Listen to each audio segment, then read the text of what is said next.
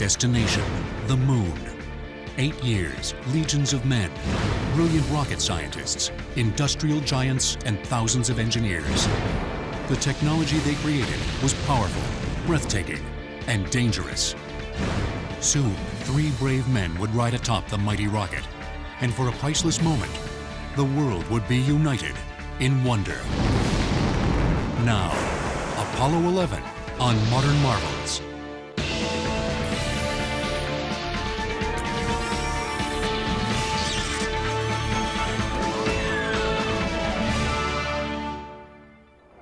July 16, 1969, 9.32 a.m. T-minus 15 seconds. Guidance is internal. The monster rocket, the Saturn V, was ready to hurl three men into Earth orbit, then onward to the moon. 10, 9, ignition sequence starts. Tense controllers sweated out the count as this epic flight of the Apollo program, the first attempt to land on the moon, prepared to head into the morning skies, driven by seven and a half million pounds of thrust. Five, four, three, two, one, zero. All engine running. Liftoff. We have a liftoff. 32 minutes past the hour. Liftoff on Apollo 11. With it would go the hopes and dreams of millions of Americans, and indeed, the world. Riding the rocket that July morning was one of NASA's brightest minds, Dr. Edwin Buzz Aldrin. I certainly didn't come away with the impression that the ride on the Saturn was at all a wild ride. It was just a, a smooth movement back, most, all of it really, during uh, first stage. Project Apollo was boosted to public awareness a scant eight years earlier, in May of 1961. The setting was a joint session of Congress. I believe that this nation should commit itself to achieving the goal before this decade is out of landing a man on the moon and returning him safely to the earth. No single space project in this period will be more impressive to mankind or more important for the long-range exploration of space. And with that, the American space program was handed its greatest challenge, to put a man on the moon. This program had been established by President John F. Kennedy as a response to the Soviet challenge to demonstrate America's superiority, and in particular, the superiority of a free and open society. What America can dare, America will do. The Soviets had beat us with the first satellite, Sputnik. Uh, and that had been a tremendous shock to the national psyche in this country. As Kennedy took office in the spring of 1961, they beat us again with the first man in space, Yuri Gagarin. As Gagarin orbited the Earth, it became clear that the U.S. was playing catch up. After Gagarin's flight, Kennedy asked his advisors, What can we do in space that would be dramatic, where if we tried as hard as we could, we could win and the Soviets wouldn't? Just three weeks after Gagarin's flight, NASA would attempt America's first manned spaceflight. On May 5, 1961, Alan Shepard climbed atop the tiny Redstone booster and into a Mercury capsule for a short 15-minute suborbital flight. At that time, the moon seemed very far away indeed.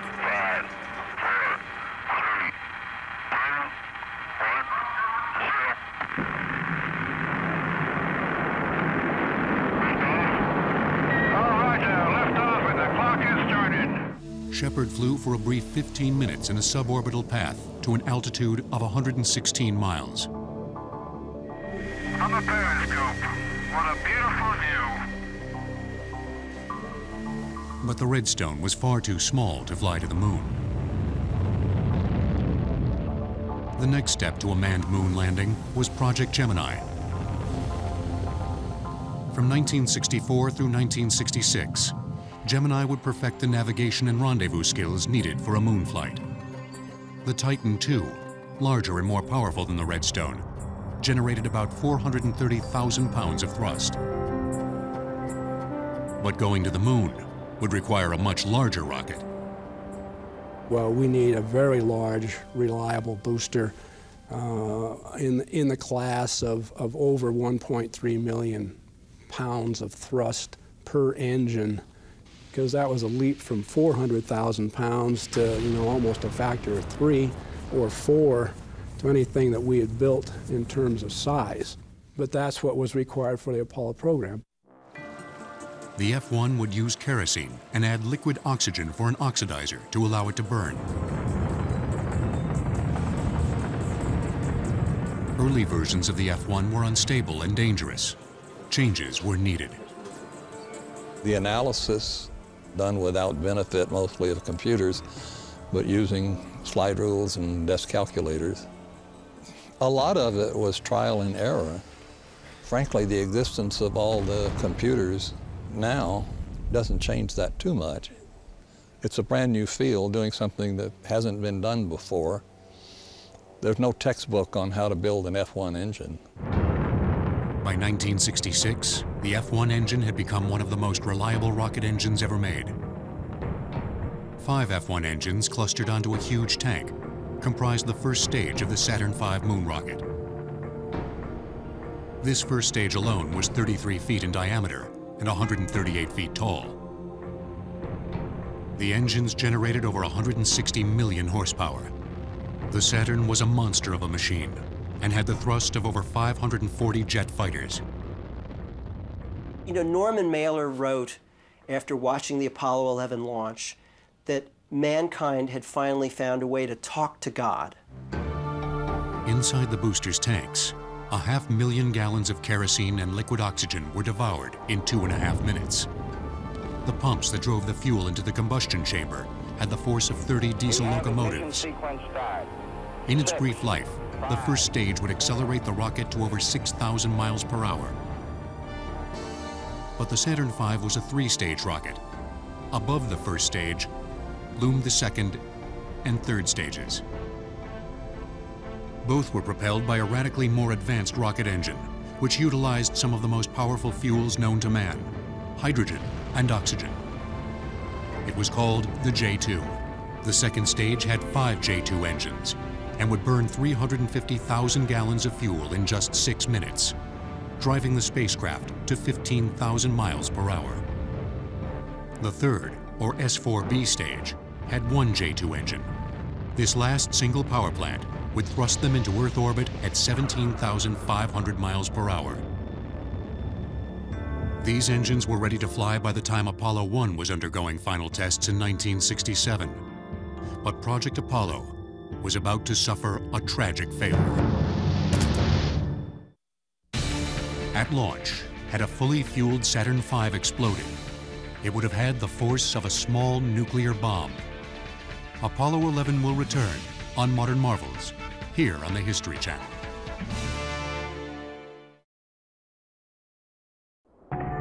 On January 27, 1967, the unthinkable happened. Apollo 1 was just one of a regular series of tests as we were preparing for, uh, for the uh, first, first Apollo manned mission. Grissom, White, and Chaffee had been together and working and training. They'd spent a lot of time here at the Cape. Uh, that particular day, things were not going well. Gus Grissom, veteran of the Mercury and Gemini programs, was NASA's most seasoned astronaut and one of the most colorful. Gruff Gus, as he was called, was not happy with the lack of progress that day. With him were Ed White, another Gemini veteran and America's first spacewalker, and the soft-spoken rookie, Roger Chaffee. We were looking to wrap it up when it's, I'll never forget, it was 6.31 p.m. and we all heard the same thing, fire in the spacecraft, and uh, it just stunned everybody. They decided to turn off all the phones, and I went to the launch director and said, I've got to have a phone because I've got to get the word out to my people to plan and that type of thing. We were wanted to check on the status of the crew, although it was pretty obvious that something horrendous had happened. It was the worst accident in the Apollo program. The early design for the command module had many problems. One of them was combustibility. On that day, astronauts Grissom, Chaffee, and White traded their lives for a complete redesign of the Apollo capsule. Within months, NASA had completed its investigation and North American Rockwell had corrected the deficiencies. The new command module was better in every way, and with 2 million parts, 566 switches, and over 15 miles of wire, it was the most complex flying machine ever built. This new capsule was mated to the service module, which housed the life support for the crew, as well as the rocket engine and fuel needed to enter and exit lunar orbit. The service module contained cryogenic fuels that needed to be well insulated. The fuel tanks were so well designed that if placed in a room temperature environment, the super cold fuel would take almost nine years to rise above zero. Apollos 2 through 6 would be unmanned tests of the Saturn V, the command and service modules, and the lunar module. The combined command and service module was first tested with astronauts on board in October of 1968 on the Earth orbital flight of Apollo 7, the first manned Apollo flight. A few months later, just before Christmas 1968, Apollo 8 would attempt a daring flight. Apollo 8 uh, coming to you live from the moon. Orbiting the moon without a lunar module. It was a risky gambit. America was in a race with the Soviets and wanted Apollo to orbit the moon before they could get there. And from the crew of Apollo 8, we close with good night, good luck, a Merry Christmas, and God bless all of you, all of you on the good earth. Had anything gone wrong with the command or service modules, and with no lunar module lifeboat, the three men might never have returned home. After Apollo 8's triumphal return, there were two more missions slated to test critical aspects of the moon landing before Apollo 11. Apollo 9 tested the lunar module, or LEM, in Earth orbit, along with the new Apollo spacesuit. It's a nice looking machine. So is yours.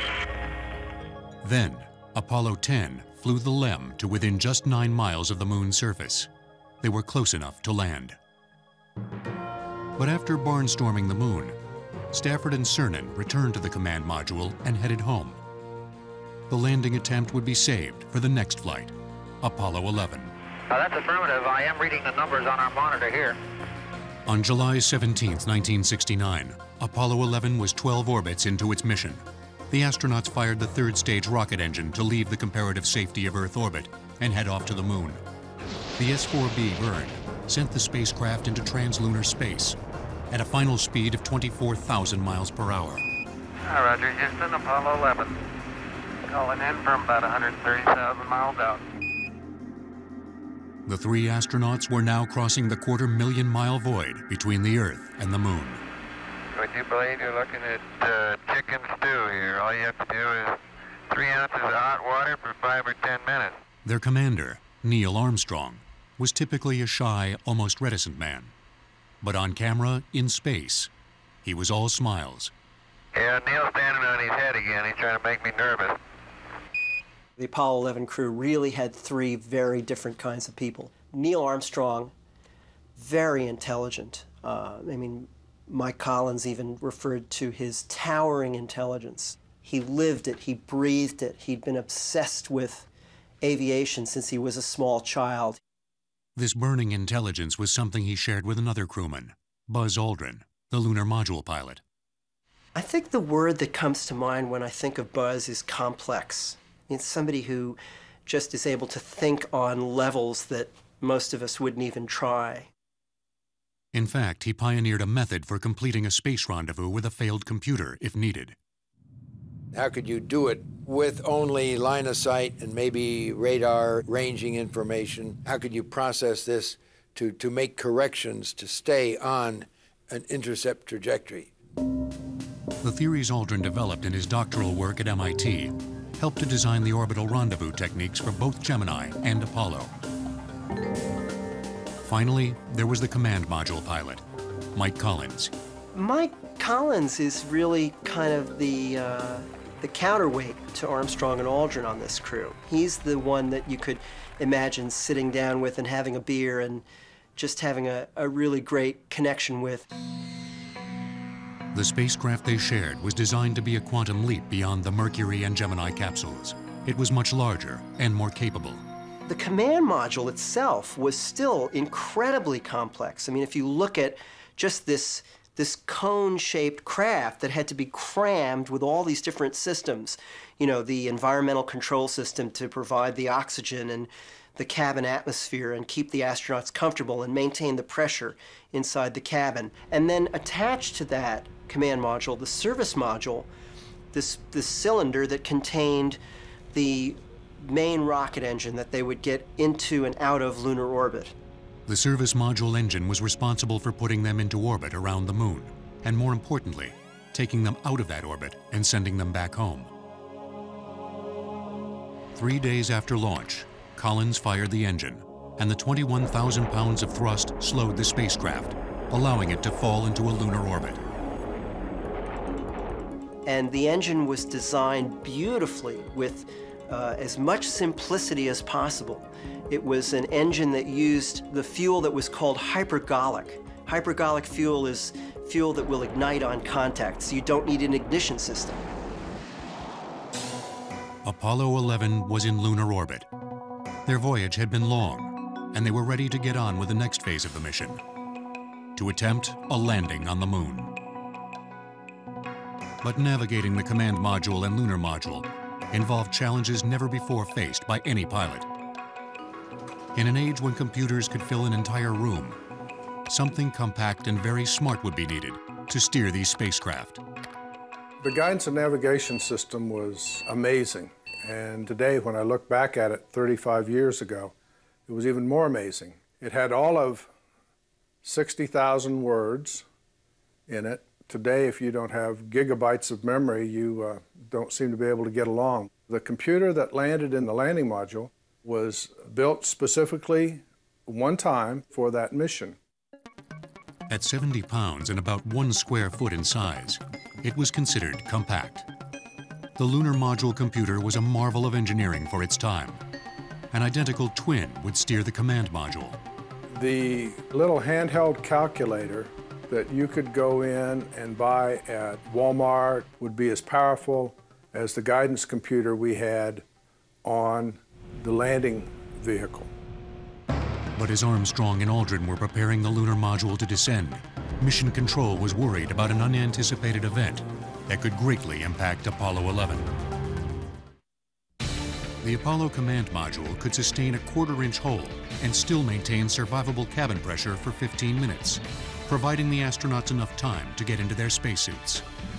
Apollo 11 will return on Modern Marvels.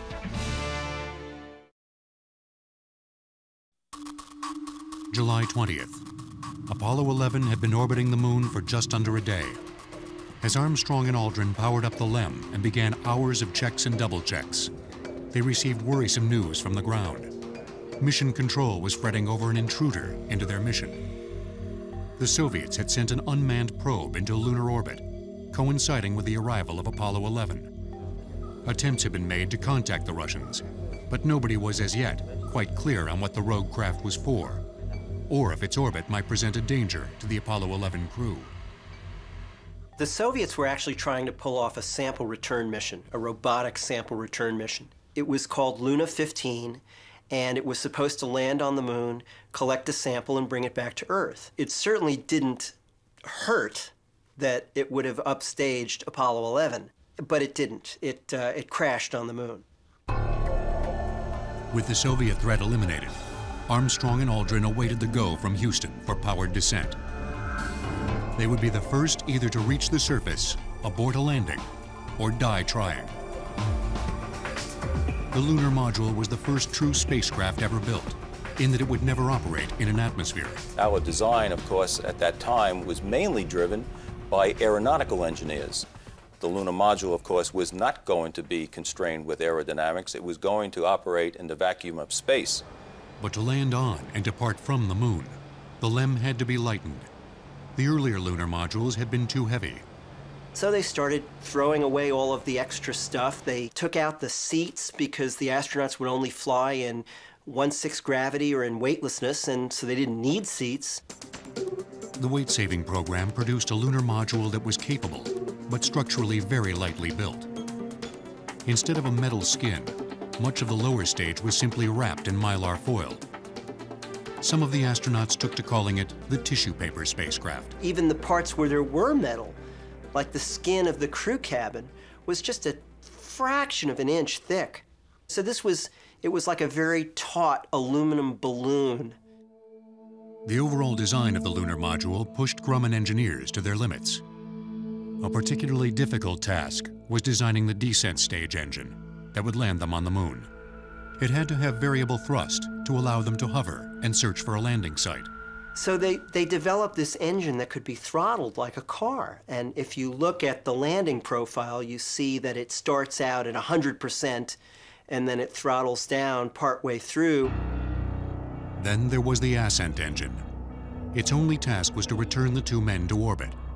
But if it failed, the men would be doomed to spend the rest of their short lives on the moon. The reliability of that one had to be perfect, you know, because you're not leaving if that thing doesn't work. Uh, so the idea was in, in, in rocketry is simple means high reliability. The only moving parts were two valves. If they were opened, the ascent module would fly. It was 4 p.m. on July 20th, Eastern Daylight Time. Over 102 hours into the mission, the Eagle was ready for a landing on the moon. Michael Collins, alone in the command module, slowly circled the moon in a different orbit.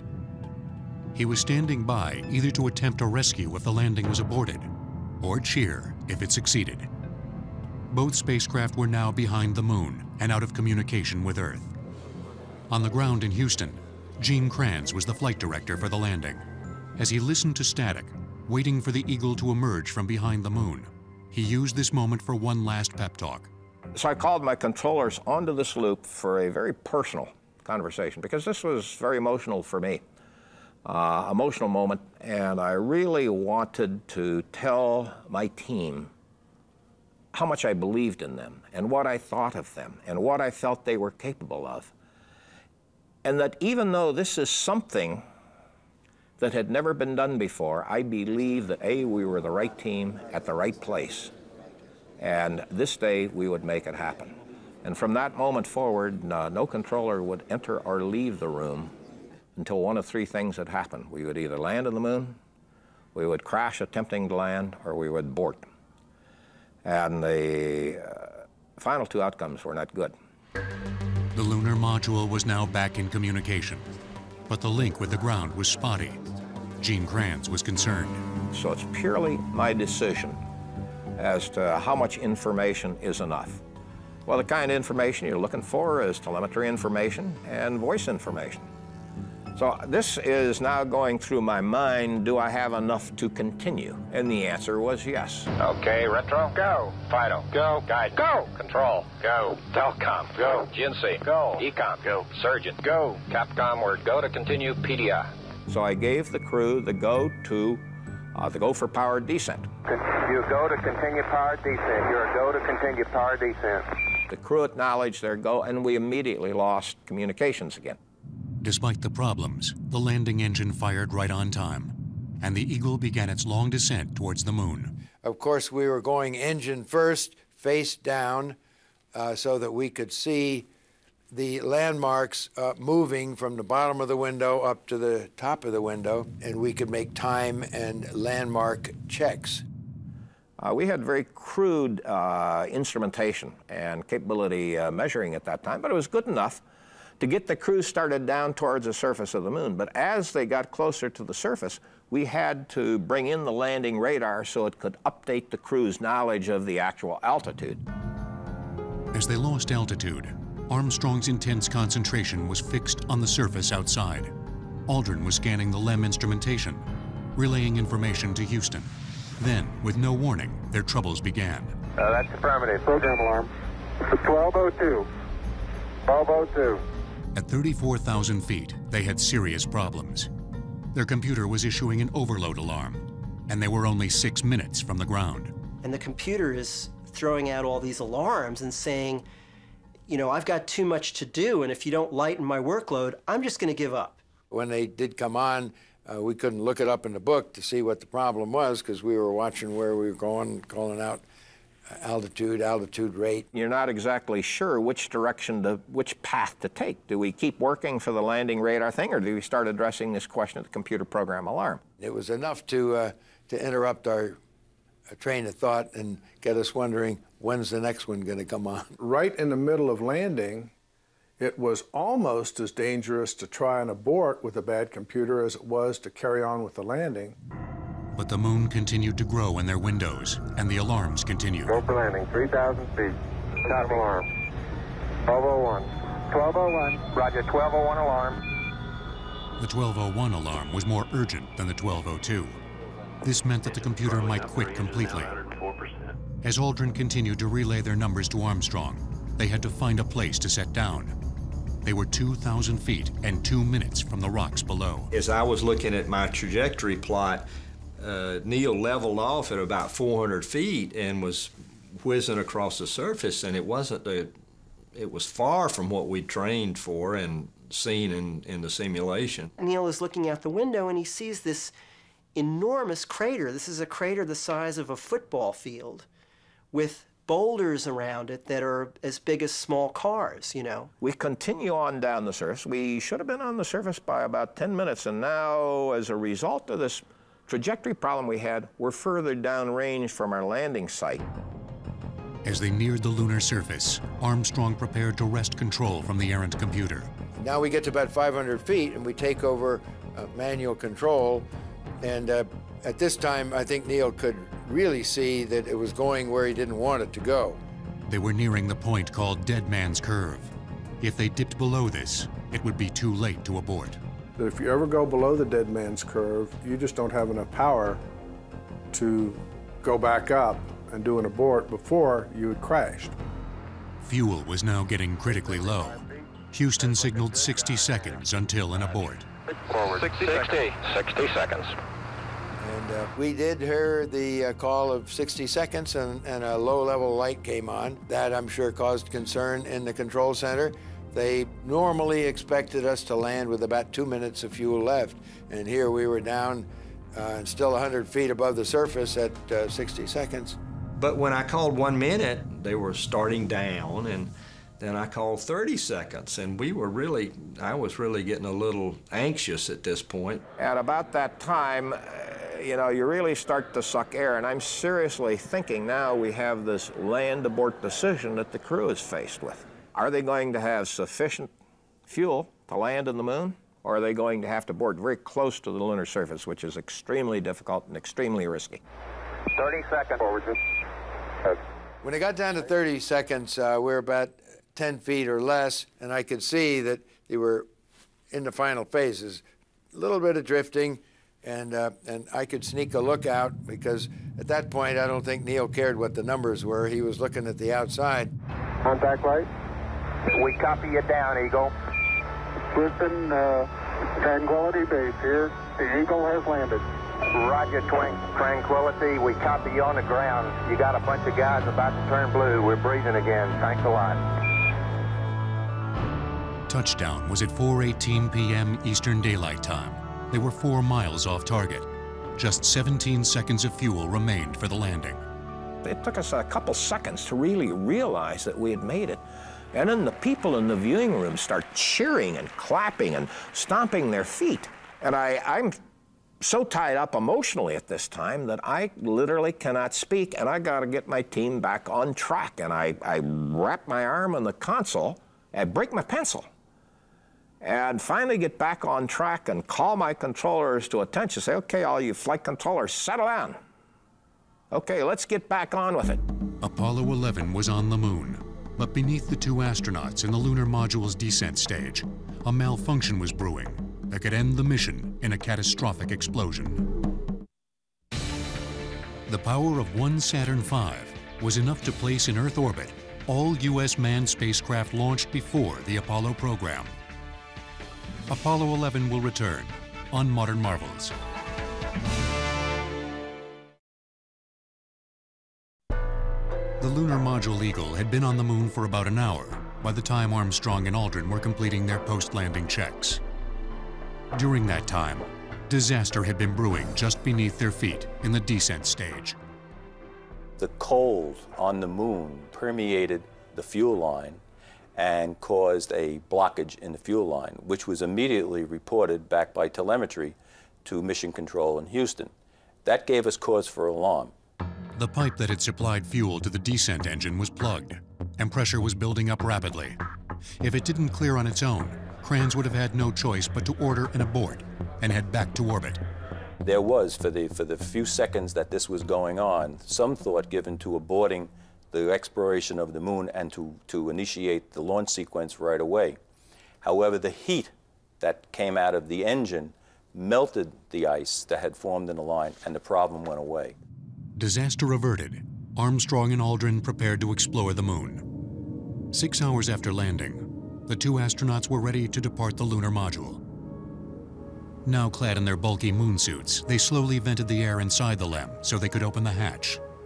When we're all ready and depressurized, we were looking at the gauge as we uh, turned the valve, I think, on the handle to, uh, to vent the, the pressure for five pounds per square inch. And it went down to, to the point where it was, it was almost zero fairly quickly. We thought, well, let's, let's give it a try. We tried to pull it, the door open, it wouldn't come open. We thought, well, I wonder if we're going to get out or not. And it took an abnormal time for it to finally get to a point where we could pull on a fairly flimsy door, and you don't want to rupture that door and uh, leave yourself in a vacuum for the entire rest of the mission. Aldrin tugged on the edge of the thin hatch, and it swung open at last. As Aldrin guided him, Armstrong carefully left the cabin. After a cautious climb down the spindly ladder, Armstrong was standing on the footpad. It was time to make history. I'm uh, at the foot of the ladder. I'm going to step off the LEM now.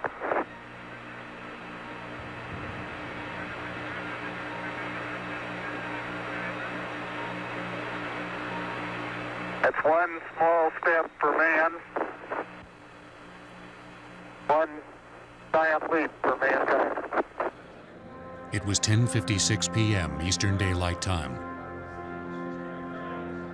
As Aldrin prepared to egress, Armstrong made his first observations of the lunar surface.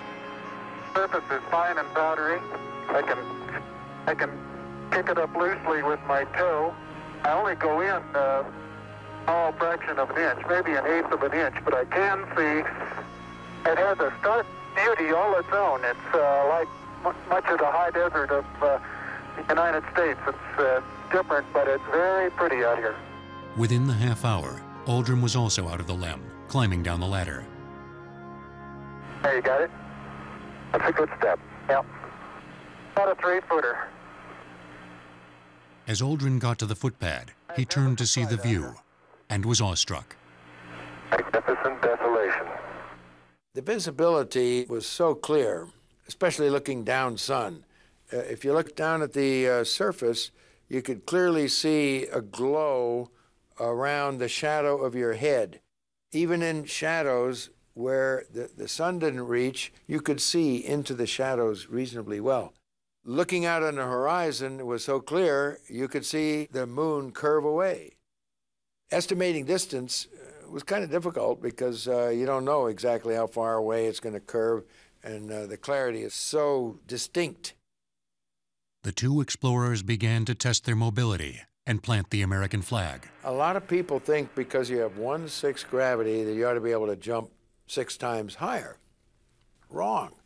You can jump to the degree that you can accelerate your mass from a standing still movement.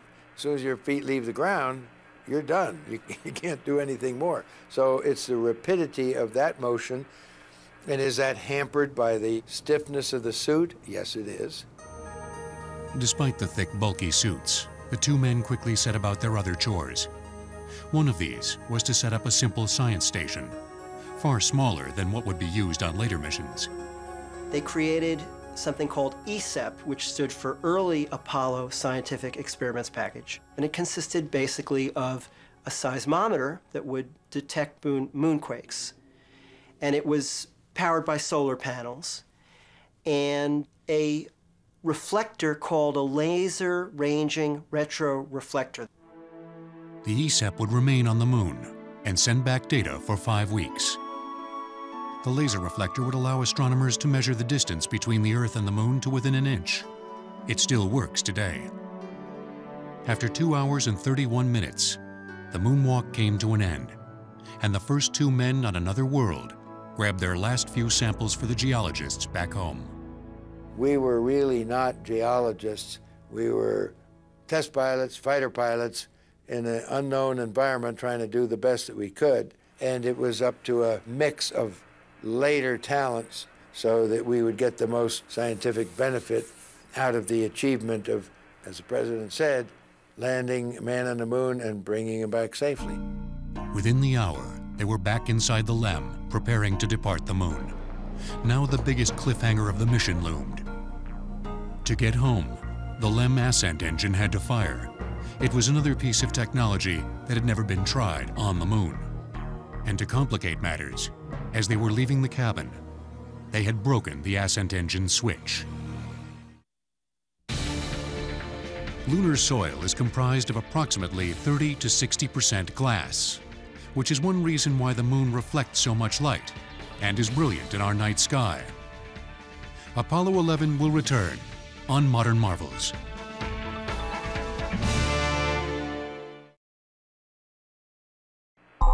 Armstrong and Aldrin had been on the moon for a full 21 hours and had explored outside the LEM for two and a half hours. Exhausted, they wanted to go home. But first, they had to find a way to fire the ascent engine. The Grumman engineers huddled, pitching one idea after another to bypass the broken switch. Finally, a solution was found. The switch path was rerouted by Armstrong. Minutes later, he pressed the alternate ignition switch. The launch mechanism activated below them. Now this sequence is completely automatic. Once they initiate the, uh, the firing sequence, all of the things that have to happen occur automatically. Uh, one of the big things that happens is that a guillotine severs the wires and all the connections that exist between the ascent and the descent stage. It also sends a command to the ascent engine to fire. Lunar liftoff was at 124 hours, 22 minutes mission elapsed time. As the LEM ascended, it did so in an erratic weaving path. This was due to the fact that the two fuel tanks emptied at different rates, with fuels of differing densities. Since the center of gravity moves, in the ascent on the lunar module, uh, in order to keep from firing thrusters kind of all the time, it, it wallows off of attitude and then you thrust it back on. It does this in, in a little bit in pitch and a little bit in roll. Then it'll do it more in roll and a little bit less in pitch. So it's really kind of a, a, a lazy maneuver, and you're along for the ride. As the two craft slowly approached each other, the command module, piloted by Mike Collins, took over the rendezvous.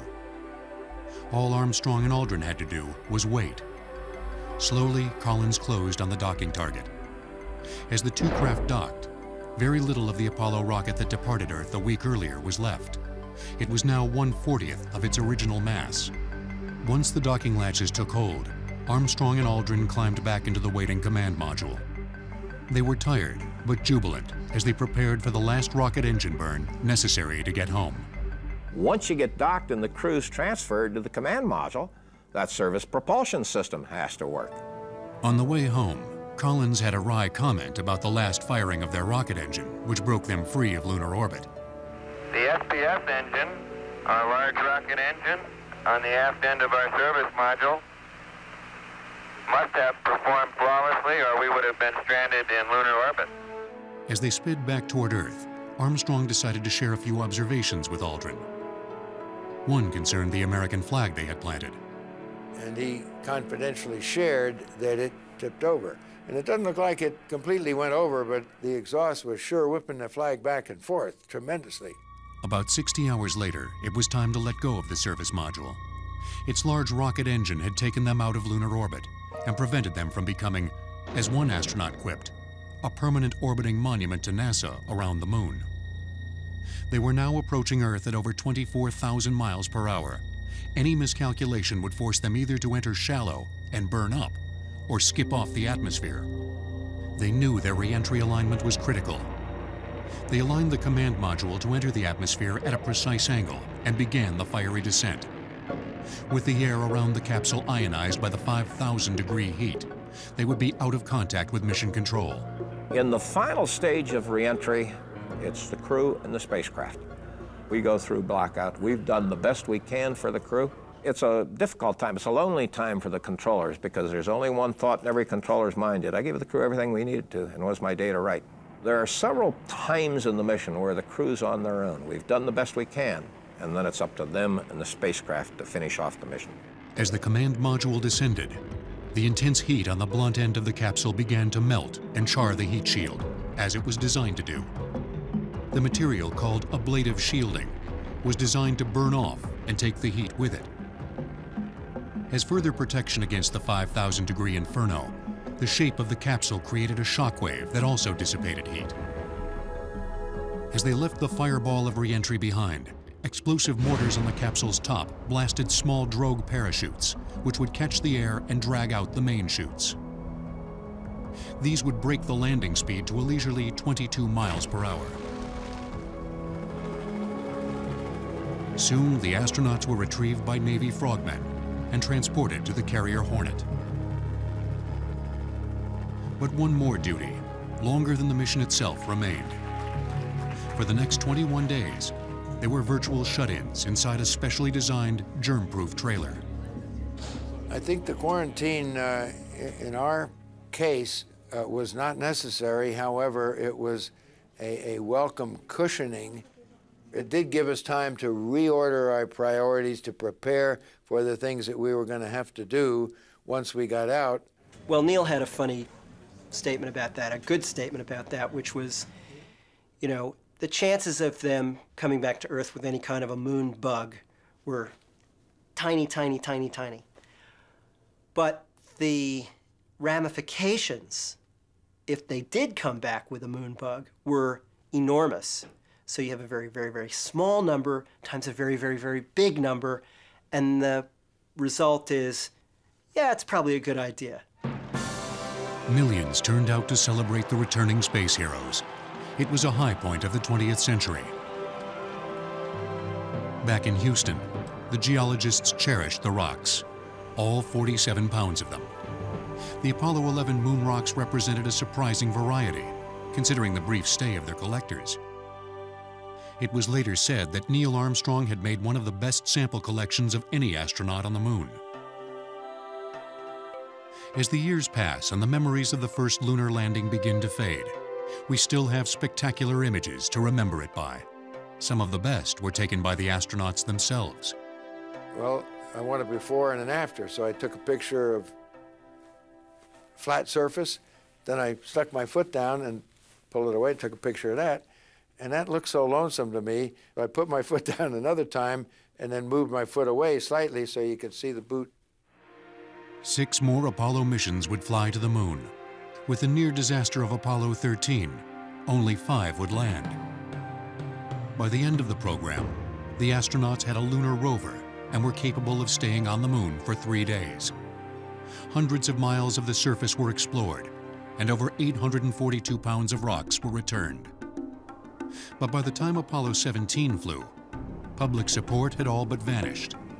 Apollos 18, 19, and 20 were scrapped, and two of the Saturn launch vehicles languish in museums today.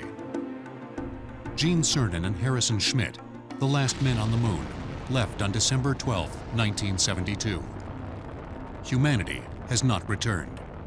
It's time to take the best minds that we have, not only within NASA, but within the technical community, come up with a proposal, cost this proposal, and then find some way to articulate it to the American people as necessary to survival. Our survival as our species and our survival economically, because the only way we're going to compete in this entire world is through technology. We need the nation behind us, we need the world behind us, and we need a unified appreciation that this is not going to break the bank, that everything we expend on exploration is going to be returned to us as a nation and us as a world manyfold. The promise of America's space exploration is to move from magnificent desolation to magnificent inspiration.